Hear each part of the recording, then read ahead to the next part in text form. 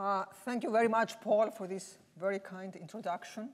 Uh, needless to say, it's an honor to be here, and I'm truly delighted to have an opportunity to talk about the effects of globalizations on inequality. Uh, this is a topic that has been of great interest to me as an academic before joining the World Bank. It's clearly of great interest to the World Bank, uh, but it's also of great interest to everyone, uh, both in advanced economies and in developing countries these days. Uh, so I don't need to spend much time motivating the subject. I'll, I'll, I'll get straight to it, um, especially given that I only have one hour to talk and I have a lot of ground to cover. Um, so uh, let me start by giving you a very brief roadmap of what I will try to talk about. I will start by briefly describing the phase of globalization. Uh, we speak of our time as being the age of globalization. Um, so I will describe its main features and the drivers of it, and then I will also describe what has happened in the last few years. I will uh, make the point that we are experiencing a global backlash against globalization. Uh, then I'll spend a good deal of time talking about the causes for this retreat and I will focus on two main ones. The, the first one is the perception uh, in many advanced countries that competition and trade have become unfair. And the second one is the increase in inequality within countries. Um, and uh, while doing this, I will talk, I will hint at various policy implications. I will come back to policy implications, time permitting at the very end of the talk. Okay, so um, what, what are the defining features of this age of globalization? So first of all, all measurable trade barriers have come uh, dramatically down. And uh, you can see here the word measurable is underlined. What I have in mind here is primarily tariffs. Uh, tariffs are very low these days, but there are also many other trade barriers, and I will come back to this point later, that we have a very hard time measuring, and it's not clear that they have come down as much.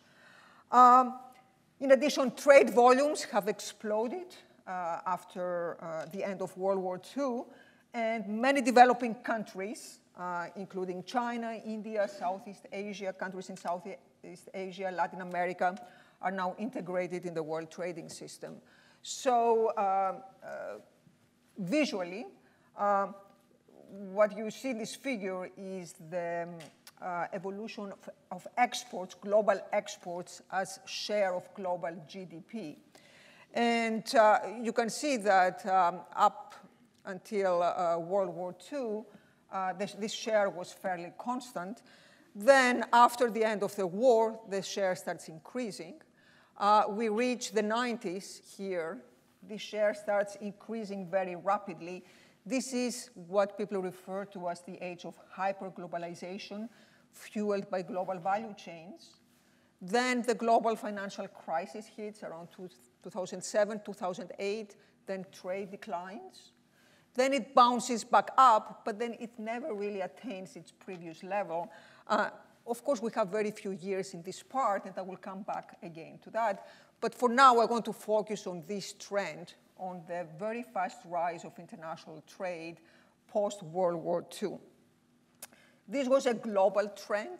Uh, this was not driven by a few countries. We, we saw this trend in the entire world. Uh, you can see this uh, evolution for different countries, including the United States, India, China, the UK. Uh, two things stand out that I want to point out. The first one is the red line. The red line represents China. So not surprisingly, during the 90s, as we all know, you, you see a huge increase in the share of exports in the Chinese economy. However, it's not China alone that drives this global increase in international trade. Uh, the other interesting case in this graph is the case of the UK. This is the light blue line. And what's interesting about the UK is that in contrast to other countries, we don't see this uh, uh dramatic rise in exports in the UK as share of GDP. U the UK was already highly integrated. Uh, it was an open economy. During the interwar period, it experienced um, a, a, decline in, in, in its exports. So that's when the empire turned inward. And then after World War II, um, it resumes the previous trend. So it's, it's essentially what's ha what happens here is we're coming back to the old level. Um, importantly, uh, developing countries uh, participate in this increase in global trade. Um, in this graph, the green part uh, represents the share of high-income countries in um, world exports. And as you would expect, the high-income countries uh, uh, command a, a, large share of total exports. This is by virtue of their size. By the way, the classification of countries is based on the classification scheme of the World Bank as of 1987. So it's time invariant. I took here the classification of the countries as it was this year. Um, so China, for example, China was a low-income country at that time, so China is in these pink uh, bars. Uh, the other colors refer to lower middle and upper middle income countries, respectively. And uh, what's really striking in this graph is that if you take these three groups of countries together, so all countries other than high-income countries, together by 2015, they account for approximately 33% of uh, total world trade. And again, some people may say this is all driven by China, which is here, but it, it's not just China. Of course, China, by virtue of its size, accounts for a very large share of this trend, but other countries, India, for example, also participate. Uh, so developing countries, the importance of developing countries is rising. What are the drivers of this trade growth? So I want to make three points here that are going to be important for the messages uh, of this talk. The first one is that the world trade expansion that we observed during that time is due to policy as much as to the decline of transport and communication costs. Uh, second, um, the claims of a secular slowdown of trade are premature. I showed you this dip in international trade after the financial crisis. I will come back to that point, and I will argue that it's, it's a little early to argue that this is a reversal in trend. Um, however, and that's my third point, the recent backlash uh, we experience against globalization may actually lead eventually to an uh, era of sustained deglobalization. So these are the three points I want to make next. So let me get to the first one, the role of, of trade policy. Uh, until very recently, there was a very strong belief, uh, both among acad academics, but also um, among pr practitioners, um, that trade policy was irrelevant for the growth of trade. And the reason for this view was that people believed that uh, transport and communication costs played a much more important role. So the general, the, the, the wisdom, the accepted wisdom um, on this question was that globalization was driven by, te by technology, by technological change, and therefore the globalization process was both inevitable and unstop unstoppable. Uh, no one could foresee a reversal of globalization. Um, I've made the point in previous work, so in a, in a, in a uh, chapter that uh, I wrote for the Handbook of Commercial Policy together with my long-term co-author Nina Pavcnik, that this view uh, was uh, misguided and partly due to the fact that it, it, it's quite hard to measure trade policy in the 21st century. We tend to focus our measurement on tariffs because these are easy to measure, but there are many different, there are many other measures that are perhaps more important, uh, nevertheless very hard to measure. Uh, where did this view come from, that trade policy was irrelevant, that trade barriers was, were irrelevant? So let me try to explain in, in a couple of graphs. So this is a graph showing the evolution of US tariffs between 1875 and 2002. Right? And uh, these tariffs uh, peaked here. These are the Smoot-Hawley tariffs. And then after World War II, as I documented earlier, they started going down. This is the dramatic decline of tariffs. Then we reach this period of the 70s, 1970s.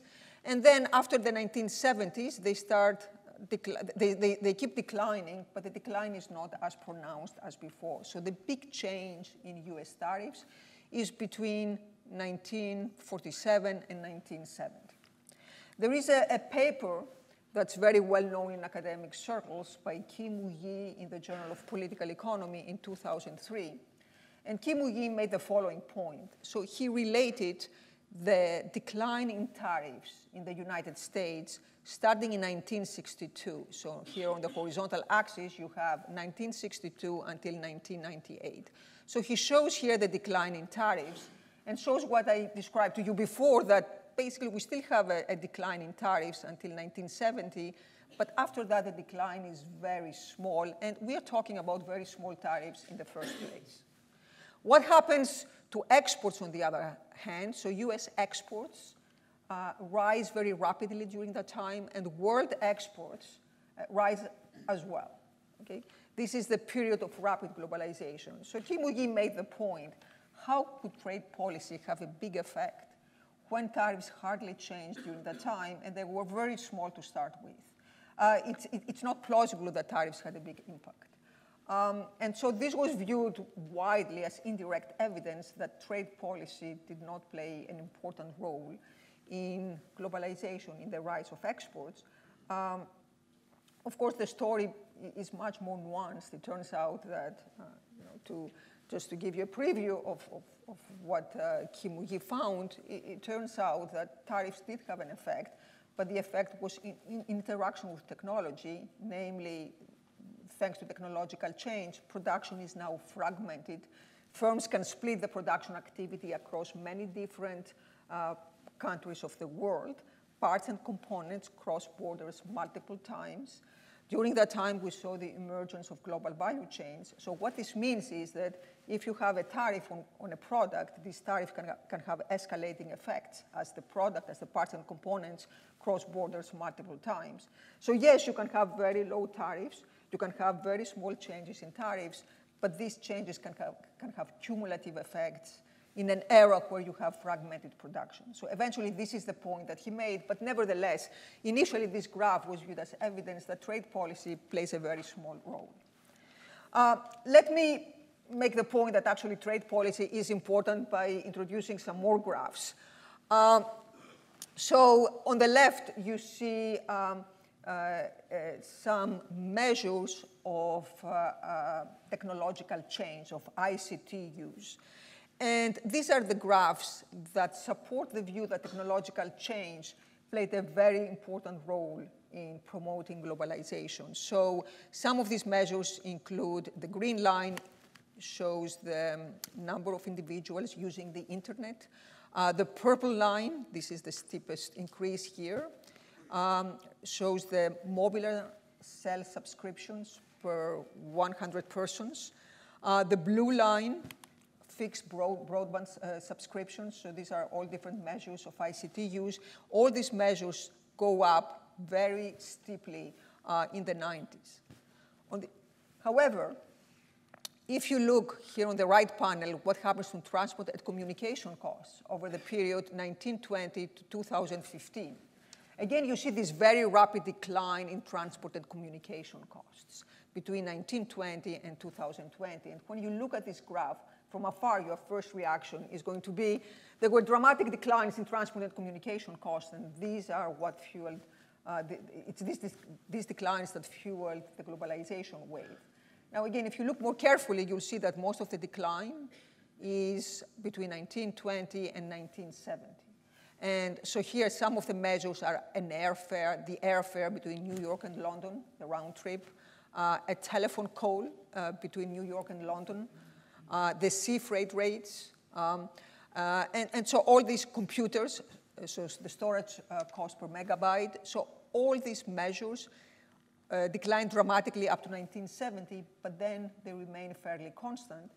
However, the, the, the, period of rapid globalization happens here, happens during this era. And at that time, we don't see a very a, very rapid decline of transport and communication costs. So if you just look at these pictures and you just focus on correlations, there is little support of the view that it's uh, transport and communication cost exclusively that fuel this globalization wave. On the other hand, if you look at some broader policy measures, um, you can tell a different story. So um, in this graph, um, I've put some measures of trade policy between 1948 and 2016. So the green line shows applied tariffs for developed countries. So this is very similar to what I showed you before for the United States. And uh, two points that are important here are number one, these tariffs are relatively low, and number two, they don't decline very steeply. But look at what happens to the tariffs, to the applied tariffs for developing countries. So this is the, the orange line here. Uh, so these tariffs declined actually quite steeply. So while tariff reductions were not very pronounced for developed countries, they were quite pronounced for developing countries that had higher tariff rates to start with. More importantly, if you look at WTO membership, the World Trade Organization membership, so this membership increases over time. Um, uh, quite a lot, and it increases because many developing countries enter the World Trade Organization.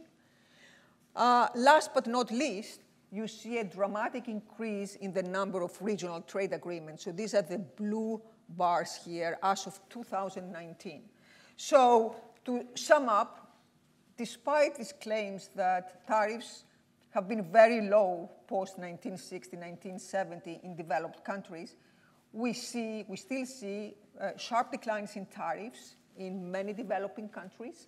And one point I made earlier is that developing countries, one of the characteristics of, main characteristics of globalization is that we see developing countries participating. Uh, so applied tariffs for developing countries do increase, do decrease quite sharply. We do see increased membership in the World Trade Organization, and we see uh, a large increase in the number of regional trade agreements. These are trade policy measures, and they all coincide chronologically with a period of very rapid globalization, of hyperglobalization. So none of these facts by itself is proof that trade policy did play a role, but, but cumulatively they suggest a role for policy. Uh, there is a lot of work that has argued that one of the mechanisms through which World Trade Organization membership or regional trade agreements uh, fueled globalization, hyperglobalization, actually is by introducing rules in the system, by making trade predictable and stable. And this, on the other hand, uh, uh, induced firms to make long-run decisions that required large sunk costs in order to invest in global value chains, in order to split your production uh, across many different countries, you need to have some certainty about the economic environment looking into the future. And uh, the rules uh, inherent in uh, the World Trade Organization, in, in, trade agreements, in regional trade agreements, provided this stability and this predictability. Okay, now uh, let me talk about um, the reversal, so the retreat that uh, we're experiencing in recent years. So first, uh, let me note that global trade has slowed down after the 2000 financial crisis. This, this is something that has, has been noted by many.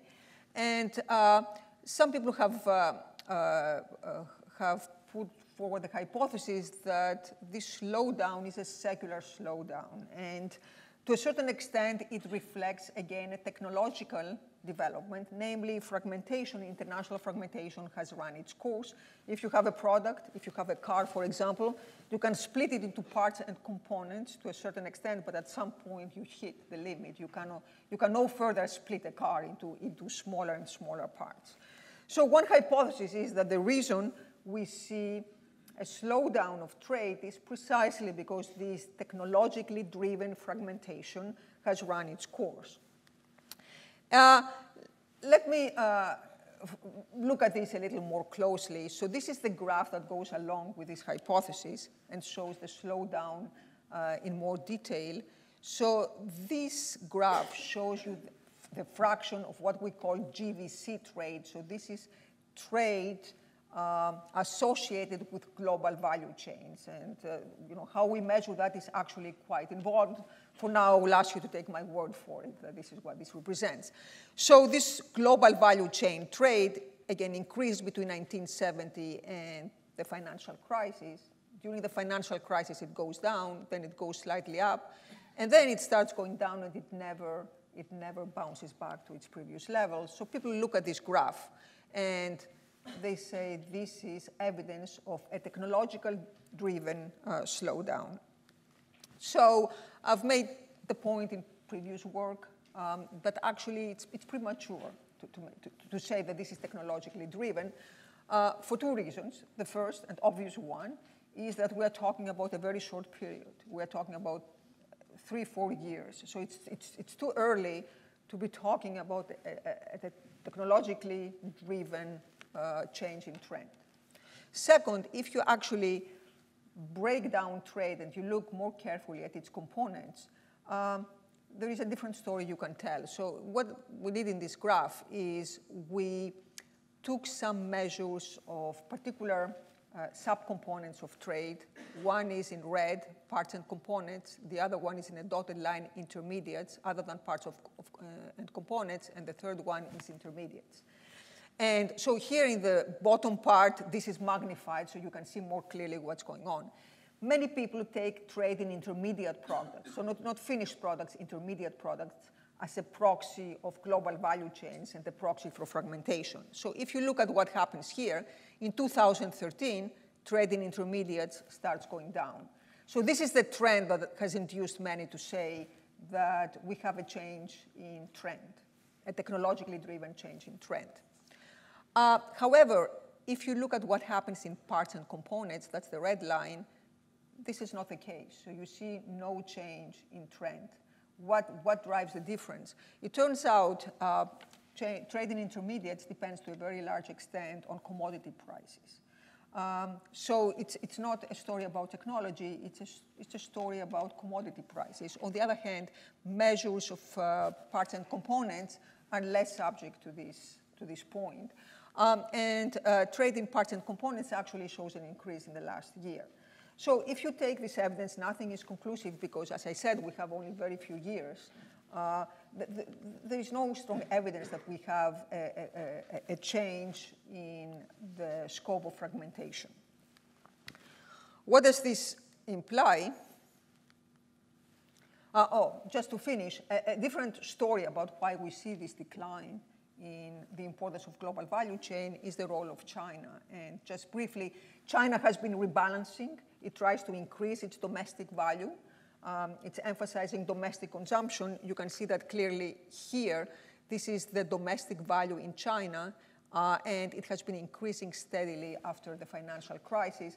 By the way, the only other country that exhibits this pattern is Korea right? And again, China is big. It, it, commands a very large share of international trade. So the presence of China, the fact that Chi China is rebalancing towards its domestic economy affects the aggregate statistics. But my point is that we don't have any strong, strong evidence that there is a technologically driven uh, change in trend in globalization what this means, so if you believe that policy did play a role in fueling globalization, and if you believe that it's not technology that technology alone that drives the slowdown, this means that policy in principle can also reverse the, the globalization that we experienced in the last few years. That contrary to the common belief, globalization is not unstoppable and it's not inevitable. And so that brings me to the current policy environment, which is one characterized by a backlash against globalization. Uh, and there are a few, a few points that I want to make here. The first one is that in many advanced economies, we are experiencing a revolt um, against globalization. And by globalization here, I mean both trade and immigration. In some countries, it's more about trade, like in the United States. In other countries, uh, mostly Europe, it's, more, it's, it's, it's, it's mostly about immigration. Uh, this is not specific to a particular country. Uh, this is not specific to a particular administration. Uh, it's not specific to a particular person, and it's not specific to um, a particular uh, mindset or set of beliefs. Uh, we see that uh, we see this um, backlash both among liberals and among conservatives. In the United States, there is often bipartisan support against free trade. Um, so, so, I think there is a change, uh, a, a, change in the public sentiment here. In addition to that, and that's perhaps more important, Uh, the World Trade Organization has become paralyzed. It, fa it, faces an existential crisis. Those of you who know the particulars of trade policy will know that this has a lot to do with the way the appellate court works. Uh, I don't have the time to, to get into the details.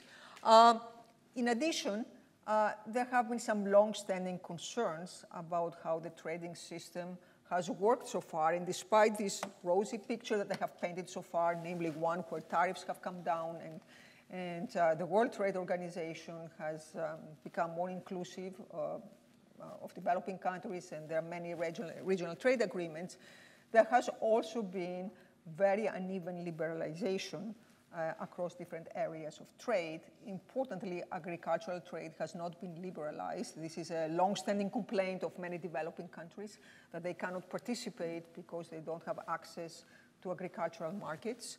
Uh, there is very limited opening of services trade, and we hear this complaint a lot from businesses, from big firms that often cannot offer the services across the border because of um, of different regulations, uh, different license requirements, even among integrated parts of the world, such as the European Union. And last but not least, uh, there are many concerns about what is called these days behind the border measures and other distortions. So what are these measures? So there are many complaints about state-owned enterprises and, they, and how they affect competition. There are concerns about intellectual property, about forced technology transfer, and, and, and so on. Okay, and uh, uh, all these all these concerns point to a certain dissatisfaction with the way the trading system has worked. Um, as a result, we find ourselves in a new policy environment, so namely one where tariffs have increased, so these are the tariffs as of 2018, the new tariff increases. So approximately 12% of US imports have been affected by tariffs. Approximately 6% of Chinese exports. The percentage in Mexico and the EU is lower. These are not large percentages, but they show a reversal in trend. More importantly, perhaps, if you ask how many new regional trade agreements have been signed, the number is very small in 2018. And to a certain extent, this reflects uh, the increasing uncertainty about the future of trade, um, and, also this, this uh, concern about the, the uh, workings of the trading system that I pointed out before. What are the effects of all this changing environment today? So in a recent paper, we look at the effects of the rising trade, trade tensions on the US.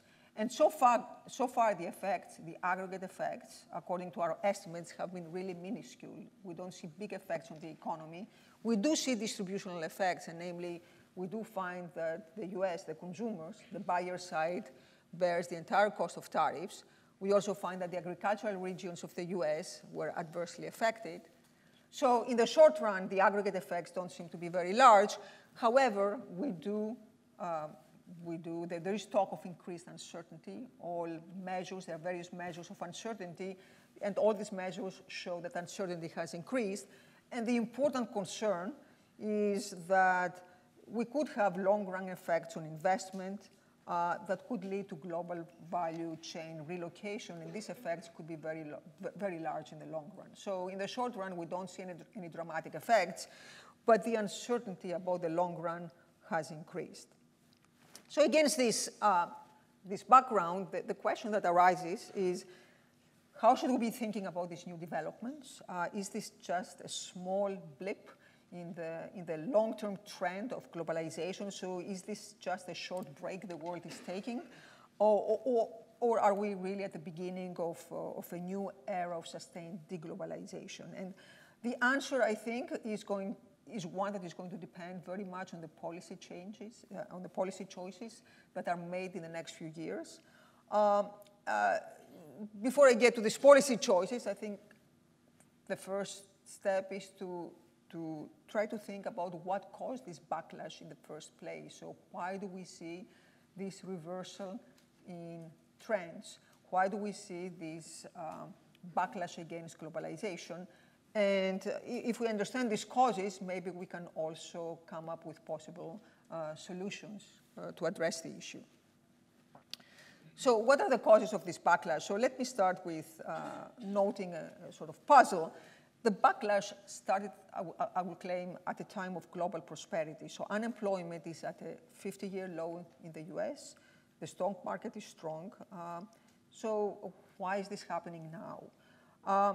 One way to try to answer this question is to look at um, surveys that try to measure public attitudes and um, Pew Research uh, Center uh, provides such uh, surveys. Let me show you a few pictures. So the first picture shows the attitudes towards free trade as of 2002. And so let me note what the scale of the, of the vertical axis is. Uh, this is 90-90. So this says that 90% of the, of the respondents indicate that trade and business ties are good for the economy. So if you look at what the responses are across different countries, or in general the responses show an attitude that's very favorable towards free trade, and that applies even to the US. It, it's very pronounced in some developing countries in East Asia, importantly Vietnam and China, as you might expect. Let me show you the same picture for 2014 now. Two things to note. First, there is much more dispersion across countries. So there is no uniform uh, assessment, no, no, no uniform euphoria towards free trade. The US is lower than it used to be. So this shows the general sentiment towards free trade that's more, that's more uh, reserved. But nevertheless, I will claim, look at the scale here. Still, the, the, the large majority of the population still think free trade is beneficial to the economy. Now, if you ask them about specific, uh, specific views on the effects of trade on the labor market, then you get a very different picture. And namely here, the question was, uh, uh, trade, uh, does trade lower wages? Here the question is, does trade destroy jobs?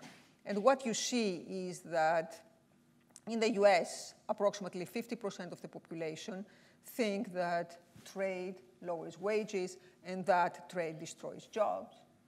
Uh, if you ask the reverse question, does trade raise wages? Does trade create jobs? Uh, you see exactly the opposite. You know, there, very, there is a very low percentage of people who think that uh, trade is actually good for workers. And what's also interesting in this graph is the slope of this line. So here you see the developing countries uh, Vietnam, China, India, Mexico, Brazil. So uh, in these countries, there is a relatively small percentage of people who think that, um, that trade is not good for workers. The majority of people here in Vietnam, in China, in Brazil, in Mexico, they think trade is, is good for workers. Okay, so the attitudes are very different. So while the, the global attitudes on, on the benefits, on the aggregate benefits of free trade uh, are positive when it comes to the effects on workers, on wages, and on employment, the effects tend to be very different between developing and developed countries. So this you know, obviously points to, to uh, an important uh, cause for the uh, changing sentiment uh, towards trade, namely the unequal effects of globalization. And these effects are unequal both across countries, but also within countries. So uh, before I go on, let me make a short, let me make a very brief point on, on, on the gains from trade, on the aggregate gains from trade. Uh, as trade economists, as economists in general, we always emphasize that trade is good for an economy. It's good for all economies. All economies specialize from specialization. That said, what recent work has showed is that in static models, so if we ignore dynamic effects, if we just focus on the short run, then the effects of trade on aggregate welfare tend to be very small. And what, so there is, for those of you familiar with the academic literature, this comes from uh, what we call the ACR formula. But intuitively, the, the, explanation for that is as follows. When you have a very large country, let's say the US, uh, this economy does not rely on trade as much as a small country. So if you depart from free trade, yes, uh, the economy is not as efficient, but it can still function pretty well. So there is an aggregate loss, but this loss is not very large. On the other hand, if you have a very small economy and you depart from free trade, then the effects can be catastrophic. But when we apply this kind of thinking to countries like the United States or the UK, these are large economies, yes, the short run effects are negative, they're not positive, but they're not huge, they're not catastrophic. And this is something to keep in mind that when we look at departure from free trade or the current trade tensions and people expect to see a disaster, you are not going to see the disaster in the short run. It, doesn't, it wouldn't make sense.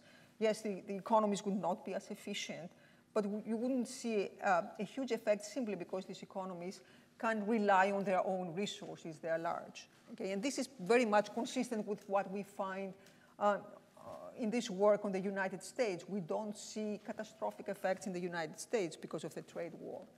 However, the distributional effects can be considerable in the short run. And ultimately, trade is all about distribution.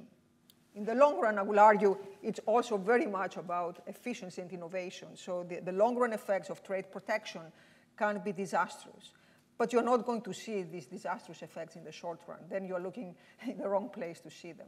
What you do see in the, in the short run, what you, you do see in the short and medium run are the distributional effects, not the aggregate effects. Okay. So uh, let me uh, now you know, focus on, on, on, on, this question of how globalization affects inequality. And that raises immediately the question, what do we mean by inequality? So um, as uh, uh Paul pointed out, uh, the, the, subtitle of the Deaton Review is Inequalities in the 21st Century, and I've always said I, I love the fact that I love the plural in this title because it makes absolutely clear that inequality has many different aspects. And this applies even to the issue of uh, uh, how globalization affected inequality. Um, what kind of inequality are we talking about? So let me try to put some structure into this question by making the following distinctions. First, between global inequality and within country inequality, and then uh, within the category of within country inequality, I will distinguish about how consumers, how people are affected as consumers versus how people are affected as workers. Okay, so by global inequality, we mean how inequality at the global scale has been affected, how the distance between the average citizen in the US and the average citizen in Somalia or in Vietnam has changed. And there is considerable evidence coming from many sources that this global inequality has been reduced dramatically post-World War II. Um, I, would, I, I, consider that one of the greatest achievements of our time. Uh, what are the sources? So Deaton's book, The Great Escape, comes to mind, where he makes exactly this point, both about trade and immigration. Um, the World Bank's uh, World Development Report in 2006 made this point. Uh, more recently, Branko Milanovic's uh, book on global inequality again made this point. And uh, even though this is a question that, um, that does not lend itself to careful econometric studies and, and clean identification, uh, there is no question that globalization has played an important role in reducing this poverty. So this comes from cumulative evidence on the integration of China and East Asian countries, many country studies, including those conducted by my predecessor at, at, the World Bank, Anne Krueger, who um, reviewed evidence from many developing countries as they were entering the world trading system. So if you take all this evidence uh, cumulatively, uh, it suggests that the, the, the, the, integration of developing countries into the world trading system played an important role in reducing uh, global poverty. And that in turn raises the question of whether we are not faced these days with an important trade-off between global inequality and within-country inequality. And I think this is, this is a question that all of us have to face. Uh, if you're a politician in an advanced economy, uh, it's very easy to forget about global inequality. You represent the interest of your constituency. But as, a, as, a, as, as an academic or as a, as a public intellectual or as, as someone who works at the World Bank, this is a question that is important. How do we value um, a citizen in, in, um, in a poor country, in a poor developing country, um, relative to a, to a citizen in our own country. Um, so, uh, very briefly, these are, these are the, the, the graphs suggesting the, the decrease in global inequality. I will go through them very fast. This is the, the famous elephant curve. So the, the, the blue line was drawn by you know, my current colleague, Caroline Freund. um, to show the elephant, but um, uh, uh, I'm sorry, the, the, the, green line was drawn by her. The blue line, this is what people call the growth incidence curve. So on the horizontal axis, you have the population, the global population of the whole world is split into different percentiles. And on the, on the vertical axis, you see the income growth rate, the per capita growth, uh, income growth rate for the average citizen in the world. And what this graph shows, and it's quite striking, is you see substantial growth for those at the lower, at the left tail of the income distribution. So, so this suggests, you also see a very sharp increase for the top 1%. But what this implies is essentially that, that you had a huge um, decrease in global inequality and global poverty. So this is, uh, these are data based on surveys, and the well-known problem with survey data is they miss the very rich because the very rich do not report their income, and even when they do report it, it's very often top-coded. So more recently, uh, various researchers reproduced this graph using uh, administrative data uh, on income tax records, and also for a different period up to 2016. And then this, this curve looks a bit different. It doesn't look like an elephant anymore. And very, very strikingly, you see the huge increase in the share captured by the top 1%. This is something that has been documented for many different countries. You see this, you know, this particular increase here, but I would argue, let's not forget that you still see this part here. So you see that for the lower uh, percentiles, you still see that they capture 50, the bottom 50% capture about 12% of total growth. So the, the, the people who are hurt here are the middle class. Uh, however, the poor still, and these are these, uh, you know, this part of the distribution here reflects the developing countries or the emerging countries. These countries still do fairly well. And so the result of all this is this graph that comes from World Bank publications. So this shows global, this shows total poverty, extreme poverty. So based on the $1.9 per day measure. And this poverty was very high, 1990, as you, as you see. By 2030, it's projected to have been eliminated in almost the entire world, except, that's the yellow part, that's Africa. So if, you, if, we, if we leave out Africa for a moment, so this is sub-Saharan Africa, and I don't know if you can see it, this purple part here is uh, North Africa and the Middle East. So if you took these parts out for the rest of the world, poverty is projected to be eliminated by 2030. Um, Africa is a different story. Um, but, but the point I want to make is that we, we, we do see a positive uh, trend uh, post-World War II, and this is that uh, at a global scale, poverty has been reduced dramatically. Um, poverty and global inequality. So that leads, you know, to, to the following, uh, to the following hypothesis. To a certain extent, I believe that the backlash we're experiencing reflects um, a view that that um, the reduction of poverty, the, redu the, reduction of global inequality is happening at the expense of advanced economies. Uh, we hear very frequent complaints that large developing countries abuse some provisions of the World Trading System, for example, the special and differential um, uh treatment status. Uh, there are many complaints that market access uh, in some developing countries is very limited. I already mentioned subsidies, state-owned enterprise, intellectual property rights, forced technology transfers. Uh, service trade is still very limited. The rise of behind-the-border transactions and various regulations that make it very hard to trade. Um, all this is compounded by the fact that, that uh, all of these factors are very hard to measure. We hear complaints, we, we, we, we read reports in the newspapers. It's hard to tell what's real and what's really an excuse, what, ref what reflects simply um, a certain negative, state, uh, negative sentiment towards developing countries. Um, one would think that better data would make measurement uh, easier, that we could actually get some scientifically grounded measures uh, that would tell us how important all these complaints are. But despite better data, despite the fact that we have more data, in many cases, it's very hard to measure these behind the border restrictions or these regulatory restrictions. And so, uh, to sum up, I think this, all this has contributed to um, a rising sentiment against developing countries. Um, and, this is, in my view, uh, an alarming trend. Uh, let me come to the, to, to the uh, second type, type of inequality, namely within country inequality, and start with people as workers. So that brings us to the labor market effects of globalization, and there is a lot that has been written about that. Um, some observations.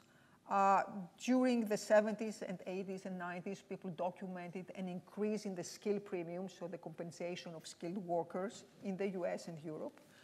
Uh, polarization starting in the late 90s, so this means this is the depression of wages and employment for mid-level jobs. Uh, most importantly, the decline in manufacturing, which is pronounced in all European countries. Um, if you look at the UK, the UK is the dotted line here. For the UK, it's steeper than any other country. Um, there is a regional dimension to this decline in manufacturing unemployment. So uh, as you can tell, so this is the blue bar is manufacturing employment in the UK in 1975, and the red is in 2015. You see that in all regions there is a decline, but in some regions it's more pronounced than others. Okay, and so what does all this have to do with globalization, all these uh, trends in the labor market? So what do we know so far? One natural way to think about these issues is to apply the workhorse model of international trade, that's the Heckscher-Ohlin model, to understanding these issues. And because the, the Heckscher-Ohlin model is a very natural way to link product markets, to, to link what happens in product markets through trade to what happens to wages uh, and the return to capital. If you do that, the consensus in the literature, and this is one of the rare cases where economists agree, and not uh, even within a field, but even trade and labor economists, across economists across many different fields, agreed in the end that trade played only a very small role in the rise of the skill premium. And to the extent that it did play a role, it played only a secondary role in interaction with technology. That was the consensus until fairly recently, until the 2000s. And then the consensus started shifting in the 2000s, and trade emerged again uh, as, as a culprit, as a potential as a potential suspect, as a potential driver for the rising um, uh, inequality in labor markets. And the question is why? Why do we think that trade has become more important in 2000 or two, in the last two decades? Uh, there are two explanations. Uh, one is that it's all because of China, and you hear that very often. Um, I noticed that one of the, of the people who gave the IFS annual lecture a few years ago was David Autor, who has worked a lot on this topic. And you know, David would claim it's all the China shock. Uh, another possibility that's, that's my view, is that it also has a lot to do that we focus these days on a different dimension of inequality, namely instead of focusing on the skill premium, so the compensation of the highly educated workers, now we focus on a different dimension, namely the spatial dimension, the regional dimension of inequality. And let me tell you, let, let me briefly explain what I mean. So there are various papers that focus on the China, the so-called China shock. And they show that China was responsible for a very dramatic decline in US manufacturing employment. So this is a picture that comes from a paper by Pierce and Schott in the American Economic Review.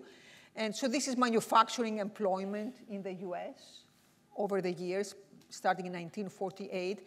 You see these shaded areas. These shaded areas denote recession. So every time you have a recession, employment goes down, but then it bounces back, right? You see that all the time. Then we come, we reach here, year 2001. There is a recession. That's the blue part here. And then employment goes down, and then it never bounces back. So what happens then? That's when China hits. And so Pierce and Schott say what happened then around 2001 is there was a policy change in the United States. That brings me again back to my point that policy here is important. Uh, the policy change in the United States was that China was granted permanent trade relations. And then immediately it was followed by China's accession to the World Trade Organization. So what many have claimed is the timing was particularly important here because the US was coming out of a recession. And that's, again, that's exactly when Chinese imports hit the country. Under normal circumstances, uh, the country would have bounced back from the recession, employment would have bounced back from the recessions. If we had not had a recession, then the country would have managed to absorb the Chinese imports. But the interaction of the two, so the fact that, that the Chinese imports hit exactly as the US was coming out of a recession made it so there was a dramatic decrease in manufacturing employment. So this is, this is uh, one view. Um, the, the, alternative interpretation, that, so, so, this view raises some questions. And one question is why this story applies to the US. Uh, we haven't seen the same dramatic increases, uh, the same dramatic effects of the Chinese import competition in other countries. We have not seen them in, in, Europe, and we have not seen them in developing countries. And many developing countries were exposed to the same degree of competition from China. So, uh, yes, China is very large, and yes, China has expanded its exports.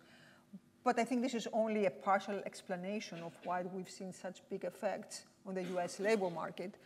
Another explanation, in my view, is, as I mentioned earlier, that we have focused on a different dimension, uh, namely this spatial dimension, this regional dimension.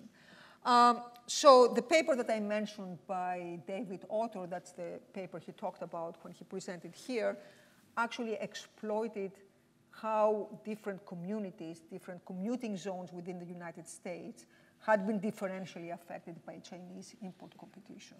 And so the point they made, David and his co-authors, is that, that uh, uh, the Chinese import competition affected some communities more than others. It was all a point about relative uh, effects, about inequality, regional inequality. This point has been made uh, in many different contexts, including many developing countries. So there is work by Petya Topalova on India, Dix Carneiro and Kovak on Brazil. More recently, there is work on Vietnam that makes exactly the same point that when you have a trade shock hitting a country, and that can be a positive shock, for example, in Vietnam, exports increased, the effects tend to be very uneven regionally. Uh, some regions are affected more than others. The same applies to India, the same applies to Brazil. And so what we see in many cases is in, regional inequalities uh, changing. What this suggests is that there is, there is limited mobility across space. So in textbook models of economics, we always model people as moving very fast in space. That if a region is, is hit by a negative shock, it may have some adjustment costs, but eventually people pack and go somewhere else. That's, that's the premise. All this work suggests that this is not the case. And let me show you some graphs that, again, tell the story. This is from a paper on Brazil. And Brazil was exposed to a big trade liberalization uh, in the early 90s. So all the liberalization happened here. What this paper shows is what happens uh, to employment in the formal sector. Okay? Um, so before the liberalization, the employment was fairly steady. Then liberalization hits. Okay, this is from the perspective of the domestic economy, this is a negative demand shock. So employment goes down. So, and then employment in the long run, in subsequent year, keeps going down. So what's surprising about this is that you would always have thought that when a particular um, region is affected by a negative demand shock, in the short run, there are negative effects on employment. But we all have thought that in the short run, employment goes down and then it bounces back. Why would it bounce back? Because people move. Wages go down, that attracts new workers to the place. Or people leave and they go to the areas that have uh, more employment. Uh, we don't see that here. So in Brazil, what you see is a prolonged decline in employment. By the way, these are all relative effects, so these are effects across regions. If you looked at earnings, so uh, uh, earnings in the formal sector in Brazil, again, same story, in fact, even more dramatic, because earnings in the formal sector were increasing prior to the liberalization. When liberalization hits, the regions that are affected more by liberalization experience a hit. In earnings, and then earnings keep going down and down and down. And you know, eventually this stabilizes, but if you actually look, it takes about 20 years for the economy to stabilize, and it stabilizes at a much lower level. So this is a pretty bleak story in some sense, because it suggests that the adjustment costs are huge, and it takes a very long time for, um, for regions to adjust. Uh, the, the effects are not confined to employment and earnings. Uh, so all this work that I mentioned shows that there are also similar effects on other, on many other outcomes, on child labor, on education, on crime. So then the community as a whole is affected. And so that raises many questions, one of which is why is interregional mobility so low? Um, what's the nature of mobility costs? And how long is the long run? And why we don't have the answers and we need much more research to, to answer these questions, I will make two observations. One is that all this work suggests that the long run could be very long. So for example, the work of, of Autor and Toll on the China shock looks at over a decade of data. So it's at least a decade or more. Uh, the work I just showed you on Brazil looks over the period of 20 years. And, and it finds that it takes two decades for these regional effects to eventually stabilize. So, so the long run can be very long, and this is actually a new insight that recent research has produced. We would not have thought that, that the adjustment period is so long. Um, very briefly, there are additional results in all this work. For example, it shows that eventually when the economy in Brazil stabilizes, it's because of the role that the informal sector plays. And that, again, raises additional questions. What's the importance of labor market frictions?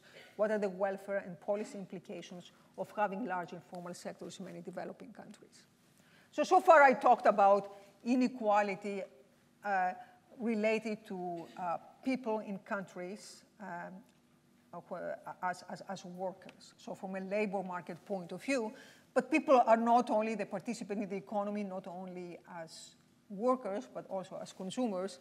And one of the important insights of trade, trade theory is that trade benefits consumers, that trade leads to lower prices, higher quality, more variety. So that's what theory tells us.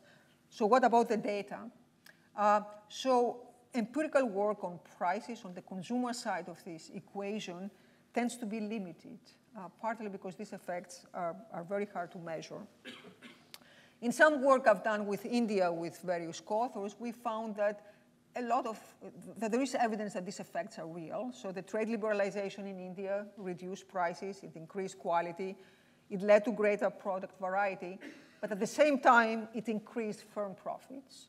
Uh, so it did benefit consumers in the form of lower prices, but these price declines were smaller than we would have thought, and definitely smaller than predicted by models of, of perfect competition. And, and so what's the reason for that? So the reason for that, intuitively, is the following. The liberalization in, in the case of India reduced tariffs on inputs, on products that India imported in order to produce domestically. So what these cost reductions, uh, what these tariff reductions did is they reduce the cost to producers. But these cost reductions were not passed through to consumers in the form of lower prices. So essentially what happened is the cost declined, the prices declined, by, but by not as much as the costs. As a result, the profit margins increased. So we do get these beneficial effects on consumers, but the picture is more nuanced because at the same time, firm profits, markups as we call them, increase as well. Okay? And this is the, the picture that goes um, along with this story. So these are profits in India, variable profits in India. So this is when the liberalization happens, they increase after that time. It turns out this is a story that applies not only to India. This is a, a, a by now famous graph coming from a paper by De Loecker and Eeckhout. They documented um, what happened to profits, average firm profits, variable profits, so these don't take into account capital costs or the cost of intangibles, as we say.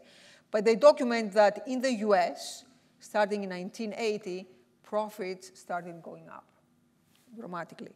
Uh, they replicated this figure for almost every country in the world. And you see the same trend in Europe, in North America, in Asia, in Oceania. You don't see it in South America or Africa. And it's interesting, why not? Okay, so one question is, given what we found in India, to what extent can you make the general, can you link this increase in profits uh, to this increase in globalization, to this, uh, to trade liberalization? Um, did it contribute to the so-called decline in labor shares, to the fact that we see worldwide the capital share increasing at the expense of labor? So let me show you some graphs that come from some recent work we did at the World Bank on uh, global value chains, actually. So this is for one particular industry. This is textiles. And textiles is a highly integrated industry worldwide. It's dominated by global value chains. And what we did in this graph is for many different countries, um, we show the correlation between average markup, so that's the red line, and participation in global value chains. And so some of the countries here are Belgium, uh, Germany, France, the UK, uh, Japan, and the United States. And in all of these countries, these are all advanced economies.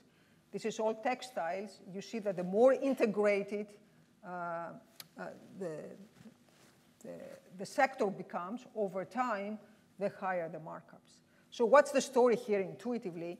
So these global value chain firms, these global value chain industries search for lowest cost locations. So search for, try to spread their production, uh, located in countries where the costs are minimized. So what this does is it makes their cost, it depresses their costs.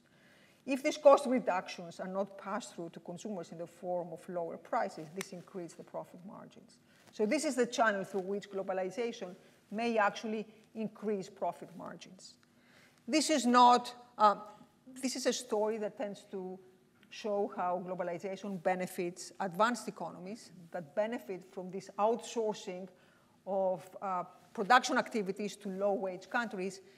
Looking at textile again, textiles again, we don't find this correlation for India, for example, for developing countries.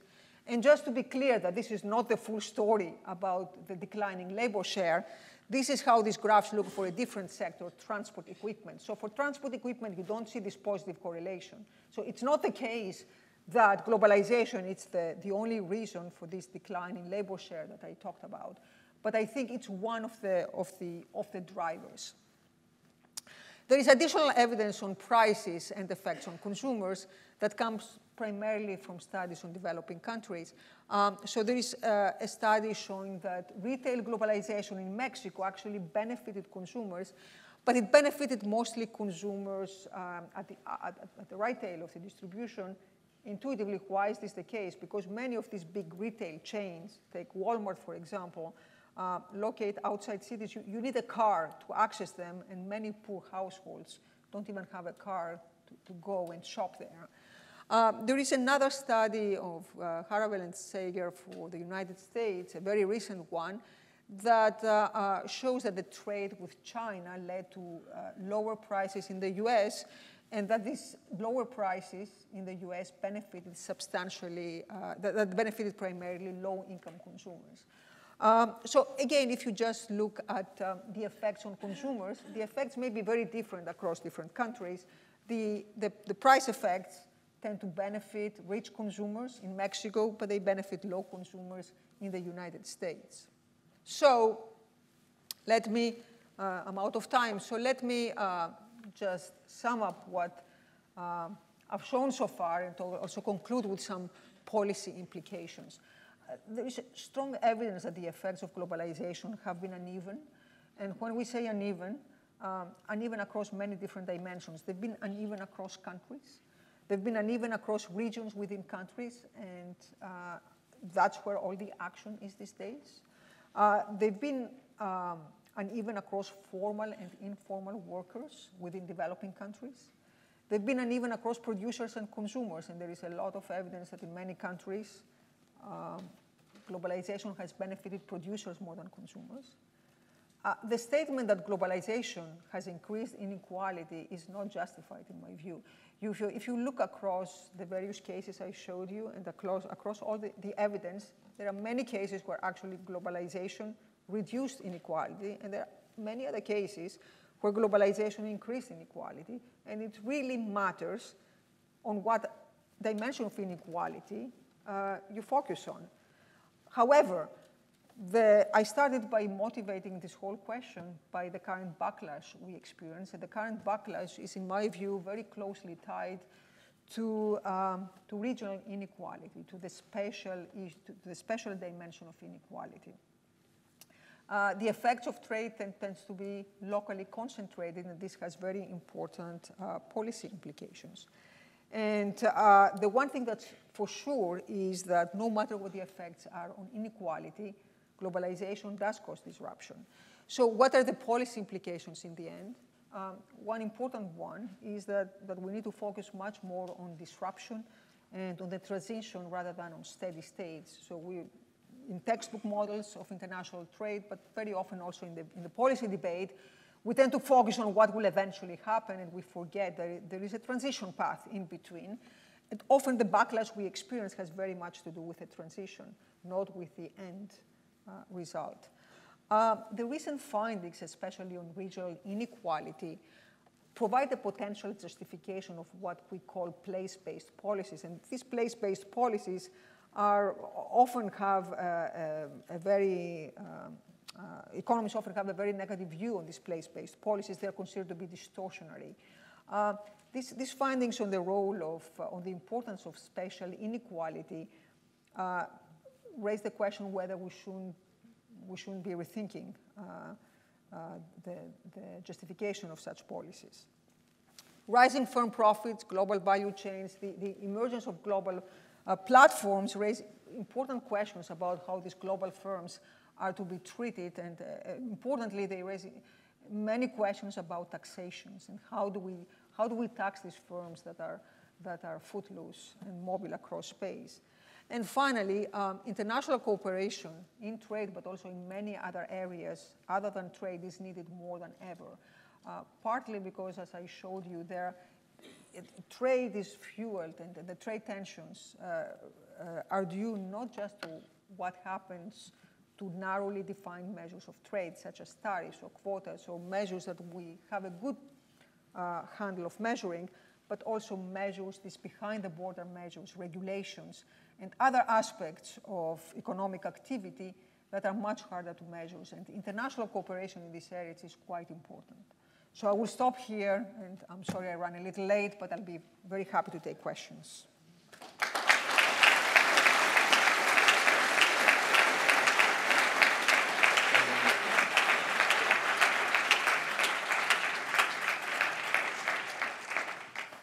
Well, uh, thank you so much for that, Penny. That was a fantastic uh, tour de force and uh, tour de raison and many other tours.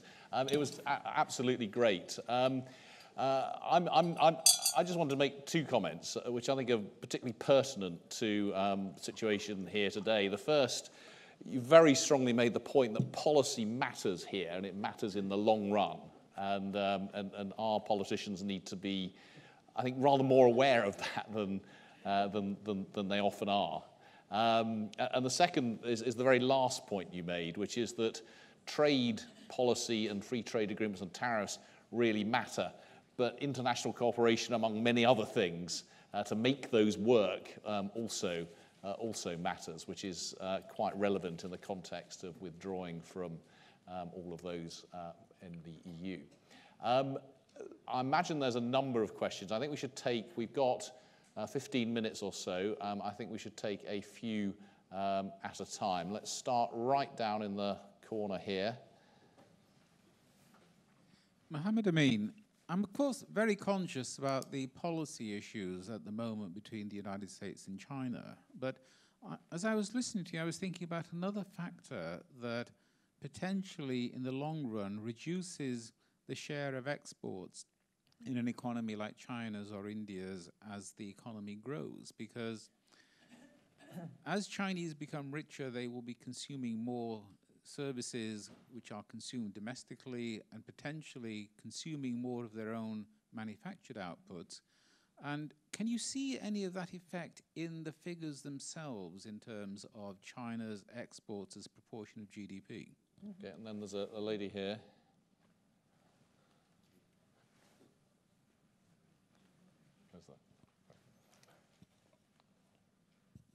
Thank you. Uh, Sheila Page, ODI.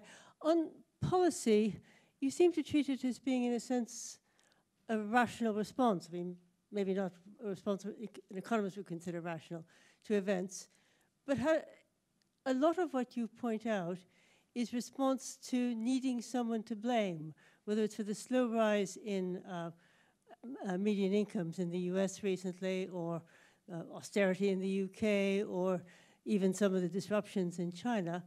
And it's not unusual for the obvious person to blame to be the foreigner. We're seeing it in South Africa and Nigeria at the moment. Isn't it just that globalization has made the foreigner a little bit more conspicuous and therefore a rather better target? Question. And, and here. Yeah, just pass it across. Yeah.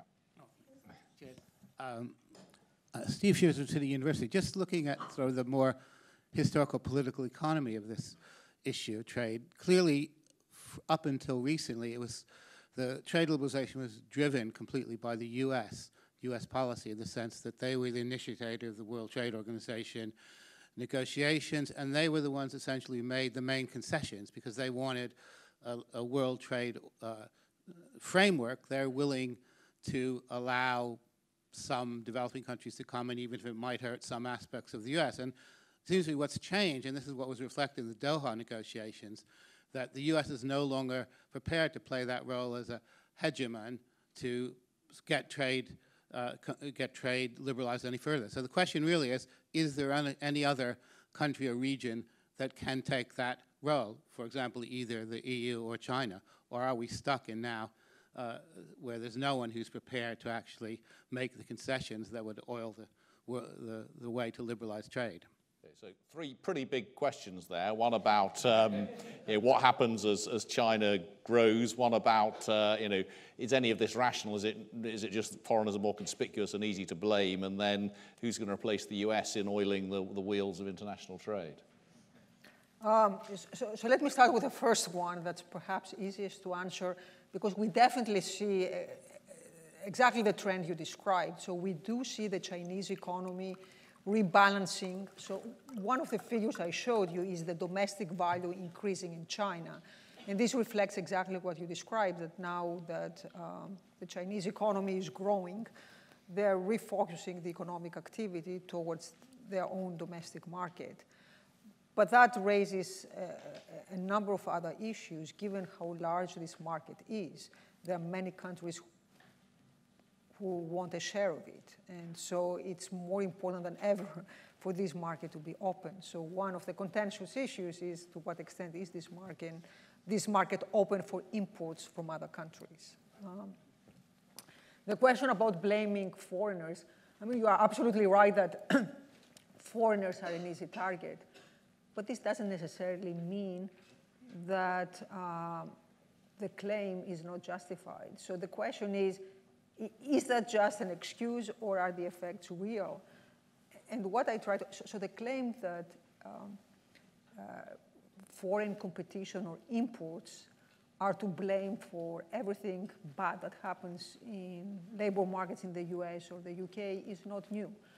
It started in the 90s when the skill premium was increasing. And economists look into this issue, and then the conclusion was the claim was not justified. So in that case, I would fully agree with you that um, the foreigners, the foreign countries were the scapegoats, but the evidence did not support these claims.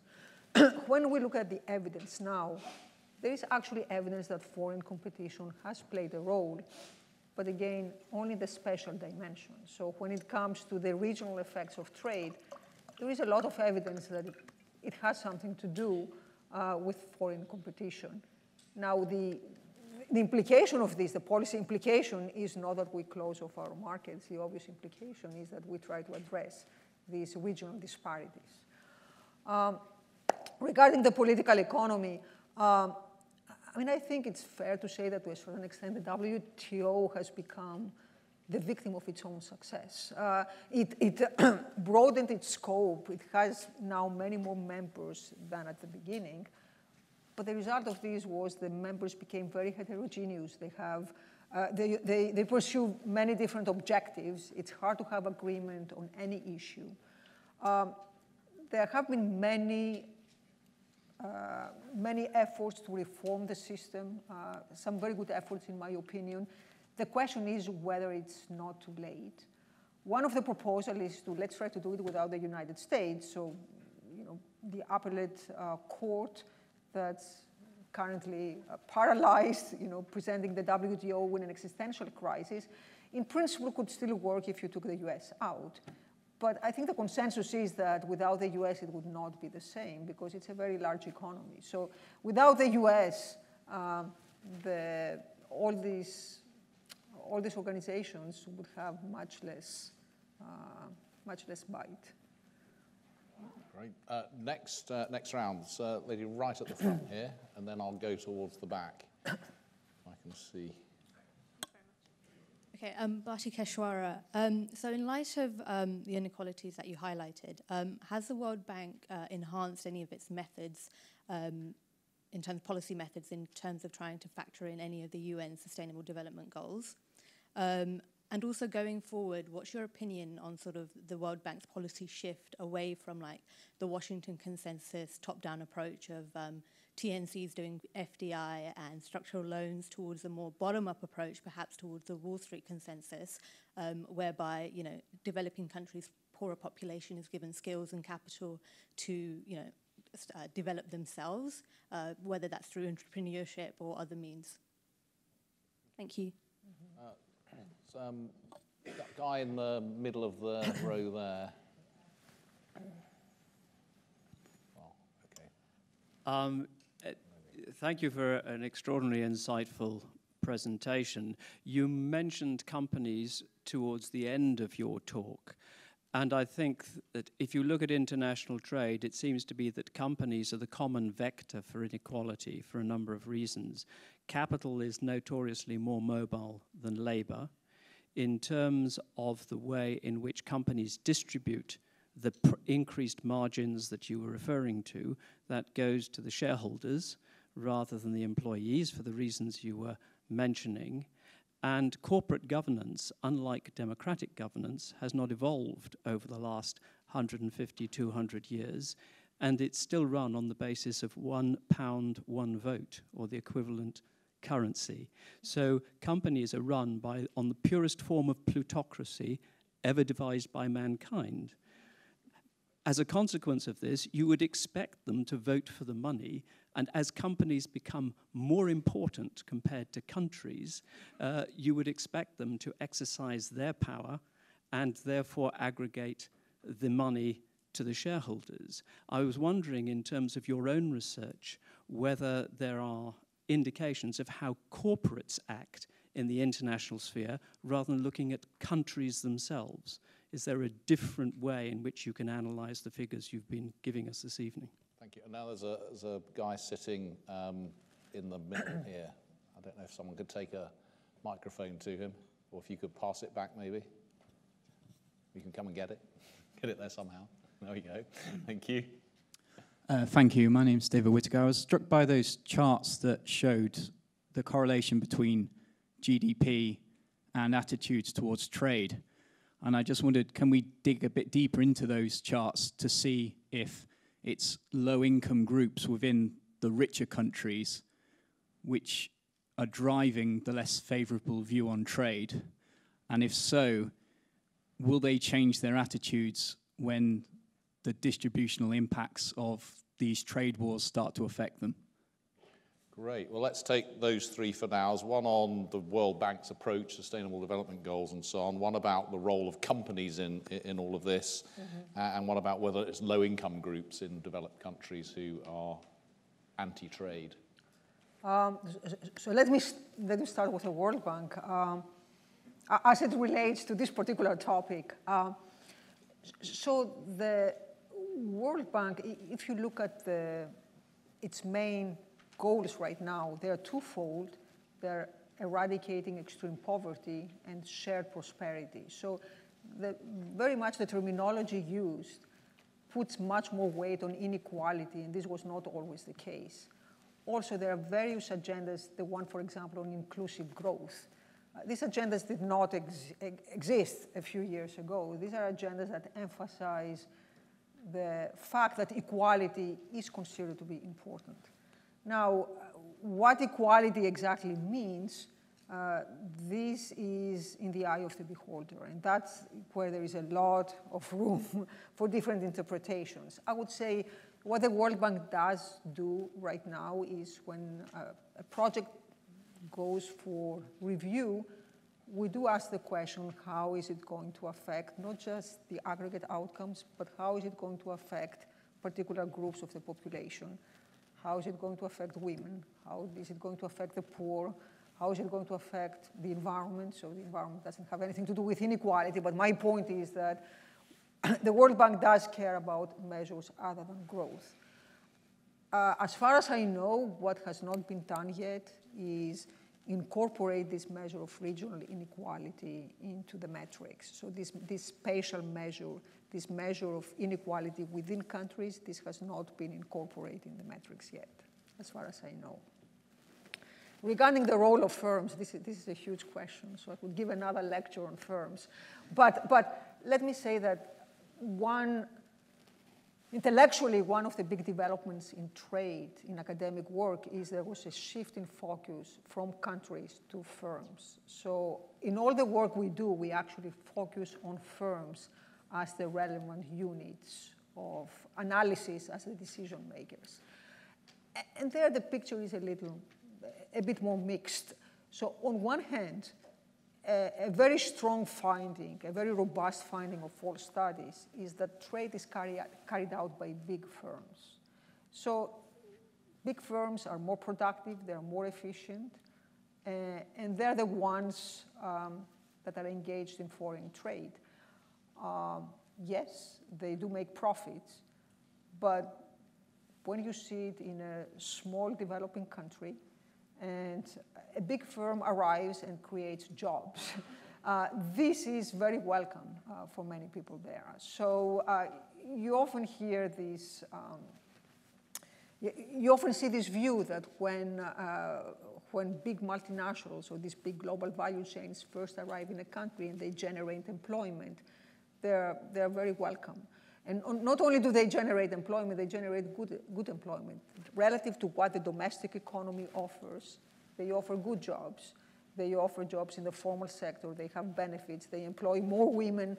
So this is all, this is the, the good side of the story. Then where the concerns emerge is when these countries start developing. And uh, they try to, to make it from the low income status to the middle income status. And at that point, they don't want their workers to be stuck in low wage jobs, in low skilled jobs. They want to go up the value chain. And that's when the tensions with the big firms arise, um, because it's often not in their interest to, to share knowledge and, and help workers move up the value chain. Uh, so there the, pic- the picture is, is very mixed. Uh, as you pointed out, uh, capital is footloose. they can easily move across borders.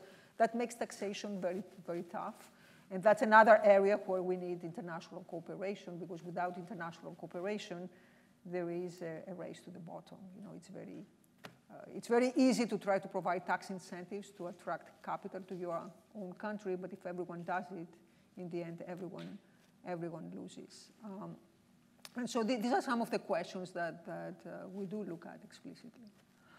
Um, and finally, regarding the, the attitudes towards free trade, um, yes, I mean, the, the, the, negative, first of all, when it comes to trade as a whole, to the aggregate effects of trade, uh, there is actually consensus across the whole world that trade is good. That's, that's still the case in advanced economies not as pronounced as in developing countries, but, but it's still the consensus in many developed countries is that trade is good. It's only when it comes to the labor market that you see this very big difference in attitudes between advanced economies and developing countries. And there it's very much correlated with income, you know, with income level, as you said. So it's the poorer workers in advanced economies who are more worried about trade. Yes.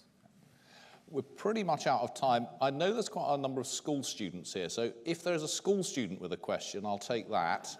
Um, otherwise, we'll stop. There's one, one gentleman standing in the middle here.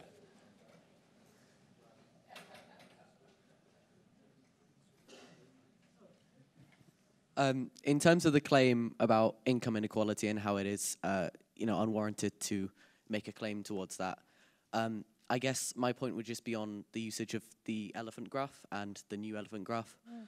in terms of judging that based on income inequality, because of course it's just relative growth. So if someone who's earning, you know, $10 a day, which is around the average, um, gets a 10% increase on that graph, right, it's equal to someone who's earning $200,000 a uh, uh, um, year, sorry. Um, so, you know, if on $200,000, a 10% increase is equal to $20,000, whereas you know, let's say $10 a year, right? That's only an increase of $1 a year. So why not use, if we're trying to have an honest conversation about income inequalities and how, how that changes, why not use something like absolute income difference? Because then you show it's, it's not so much an elephant, but it's a hockey stick. It's, it's quite dramatic, actually. Okay. Interesting question, the difference between um, re relative and absolute differences.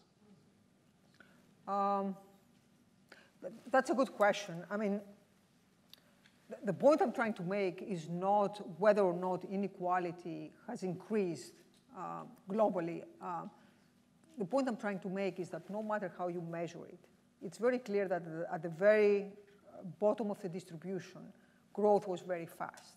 And that has decreased poverty. So this is not a statement about inequality. It's, uh, it's a statement about poverty. And for poverty, all that matters is the absolute level. So it's the $1.9 per day.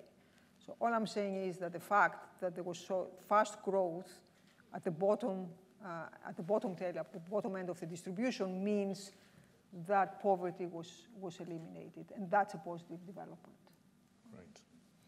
Well, um, you're very fortunate having a chair who loves this but, but likes drinks as well. So um, so, so we, will, we will stop on time. I mean, it just remains for me to say um, it's just a fantastic uh, lecture. I learned so much from it, uh, and, and, I hope you know you did too. The, the, as I say, the importance of policy, the importance of international cooperation, the importance of local and regional uh, interventions uh, at, at, at, the top of that, but the complexity of the uh, impact of trade on, on incomes, uh, welfare, and inequality uh, came through all of that. So, so join me once again in thanking Penny. Uh, thank you very much.